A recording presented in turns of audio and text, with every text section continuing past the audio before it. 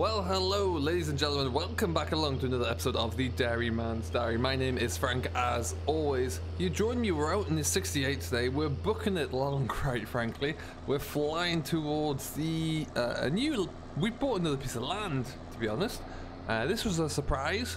It came through some connections that I've only just recently made, which was a connection through the connection of my agronomist. Uh, and they were, um, yeah, we bought a little bit of land there. It's about 12 acres of grass.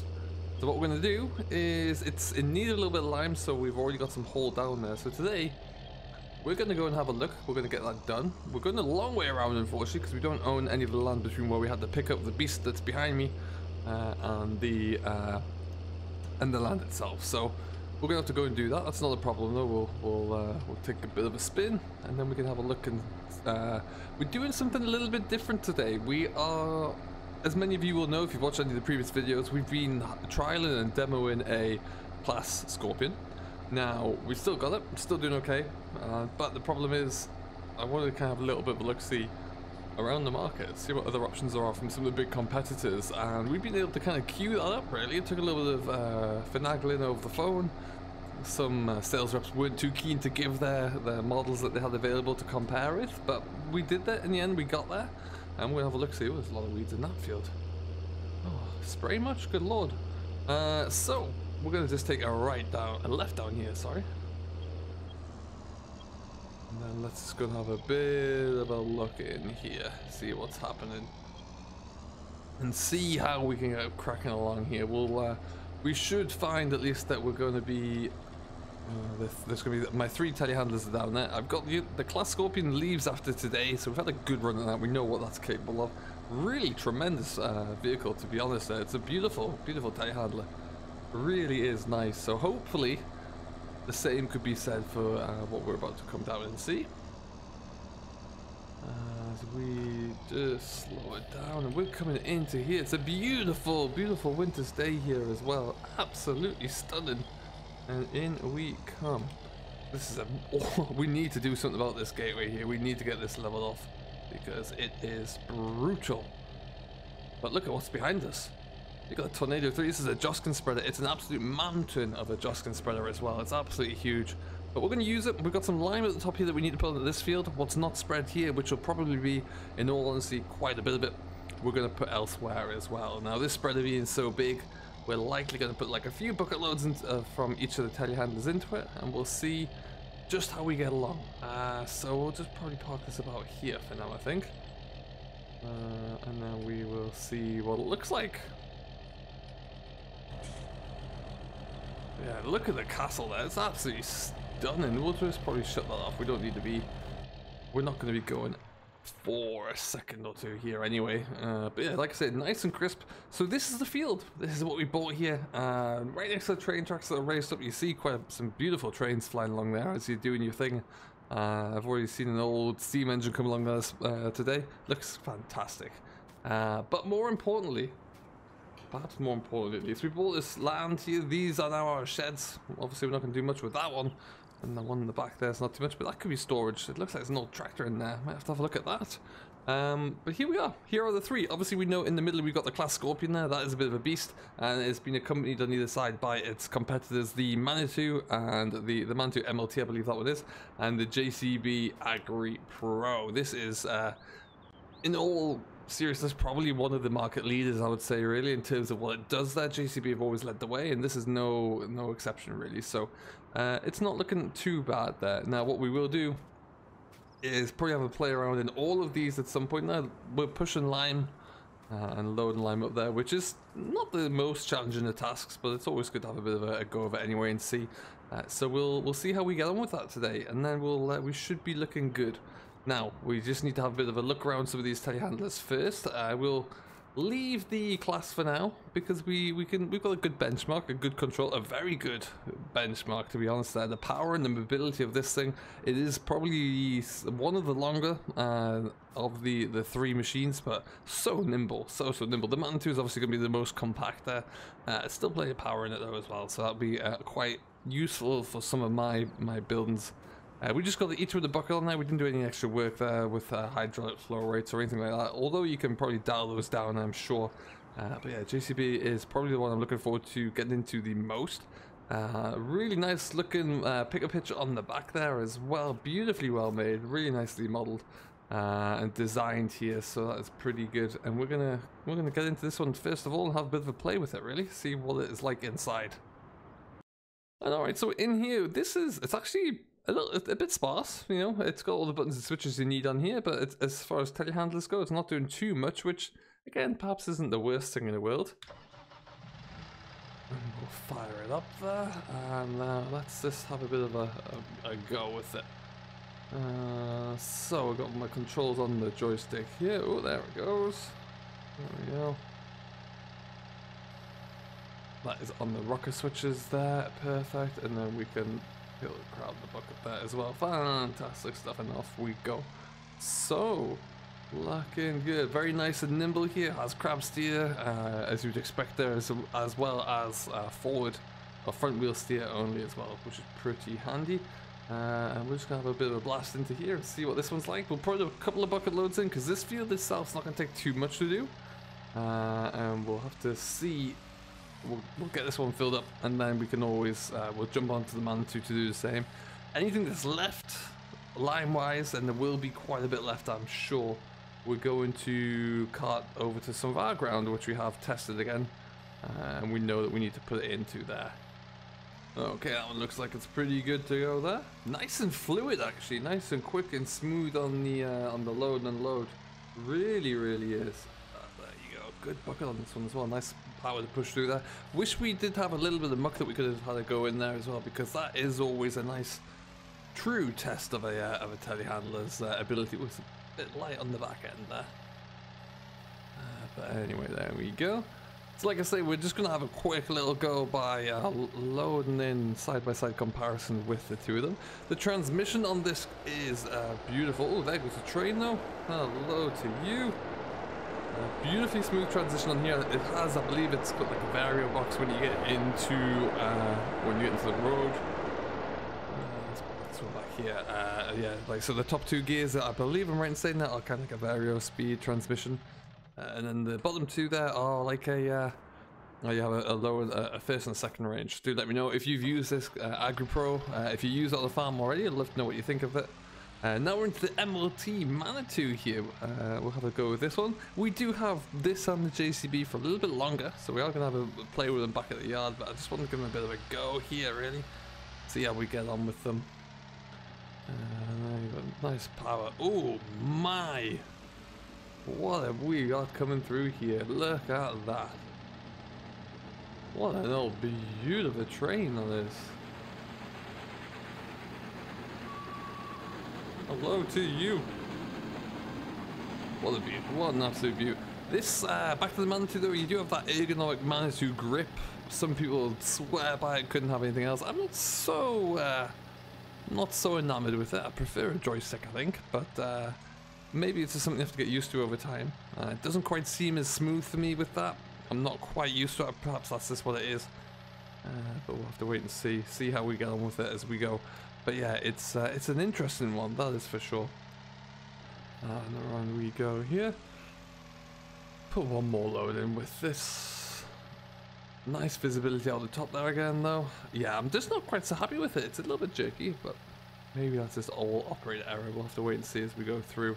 Uh, what we'll do is probably just have a bit of a crack on with... Ooh, there we go. Easy, Frank. There we go.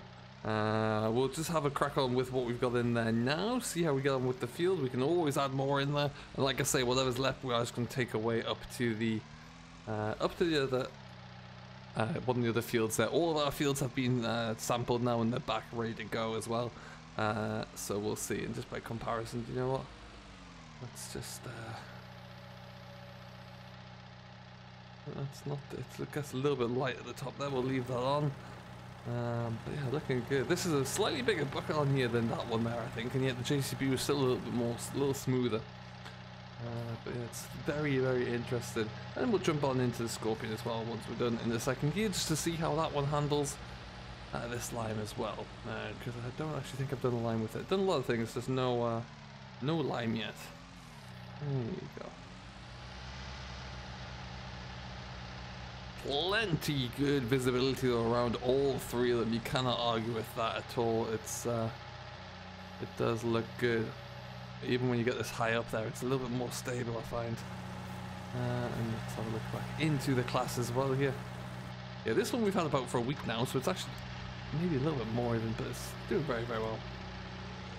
Uh, I do have to get rid of this one. But like like I said, the Torion that we would be getting rid of, the Claas was is good. The Claas Torian, just too small, too lightweight. Either of these options would be great, and what we'd probably do when we get one of them is actually look to get one of those front-mounted bale shredders, I think, just so we can keep a bale shredder each yard, speed the job up a little bit uh, when we need to. And that might eventually maybe replace the Massey, we don't know. Uh, it's just ideas that we're thinking about there as we go on there, but you know, these things you always kind of want to think through and make sure you you've got the right approach there, I always think. One into there. And then we'll put this little load in here as well. There you go, fantastic stuff. And back we go. Alright, and so, with that, looking pretty good.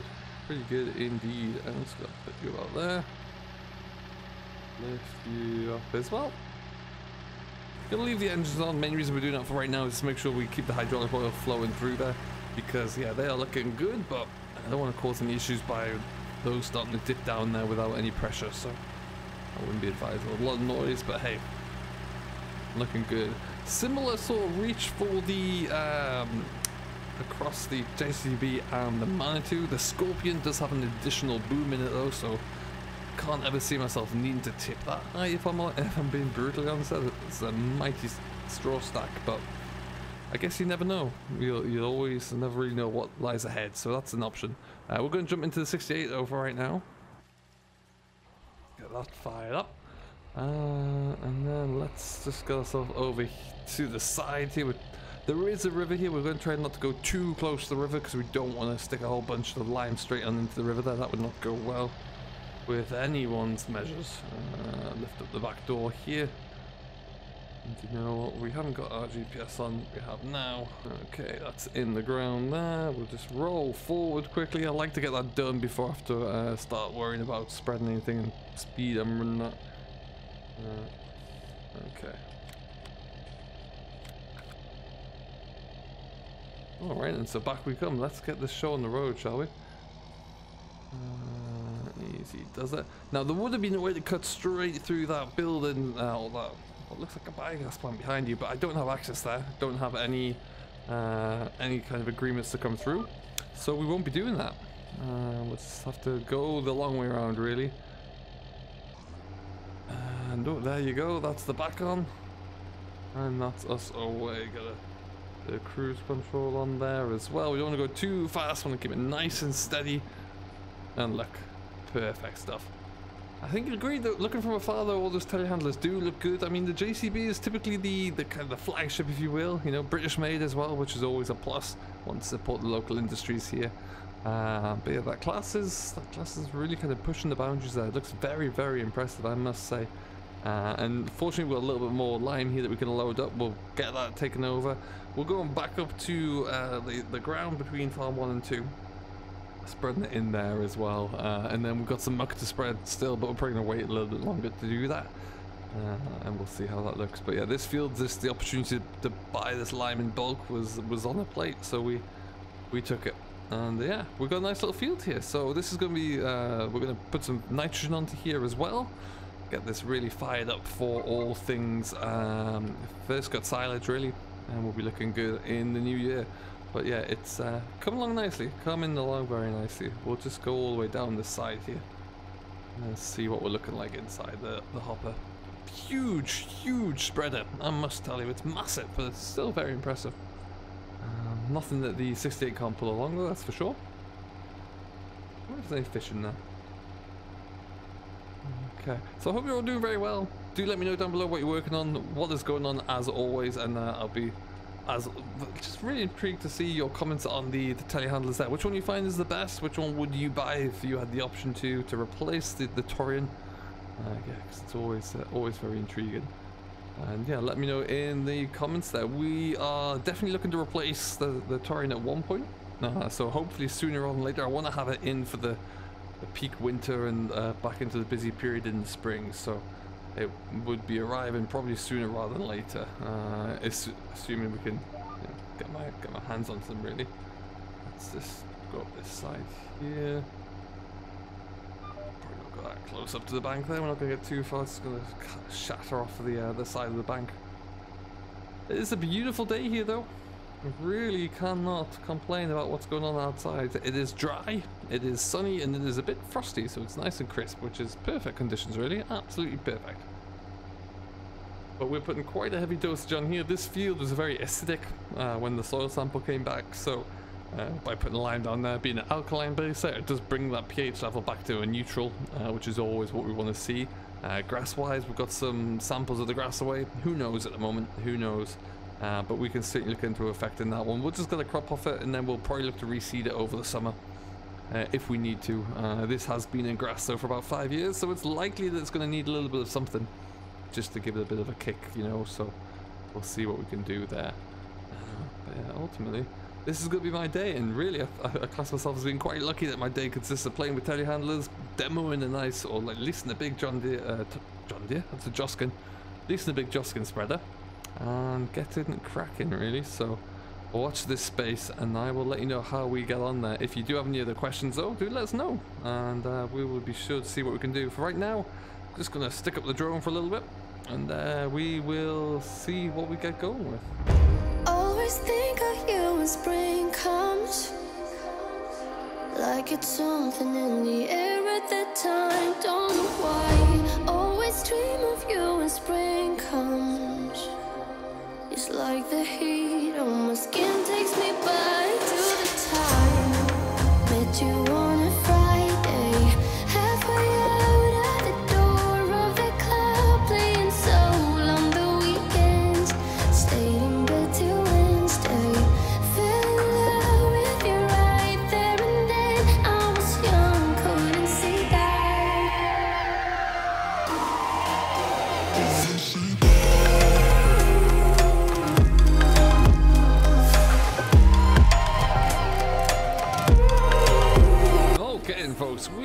still got a little bit left in here actually. So what I'm gonna do, I feel like I'm just gonna stop about here. We're gonna load up quickly with the, uh, put a couple loads together with each of the different telehandlers.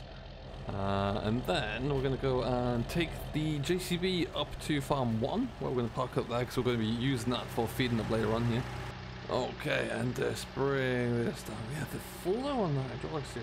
Very impressive. Okay, and off we go. Let's just go and tip this in. I find this to be a bit smoother as well, just handling. I don't know if it's just uh, what the difference is, but it certainly feels that it's just all in all a little bit smoother. Uh, out of the the two new telehandlers here, I'd say this is definitely edging it over the Manitou, but it's not by much.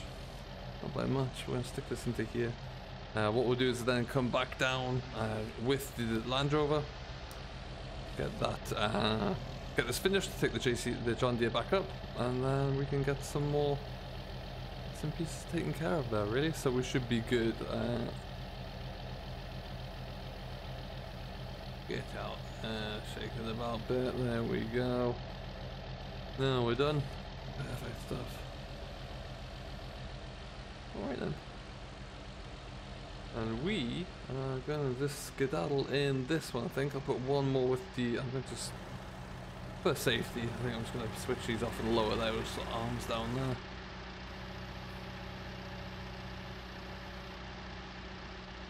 Okay. And uh, come around here.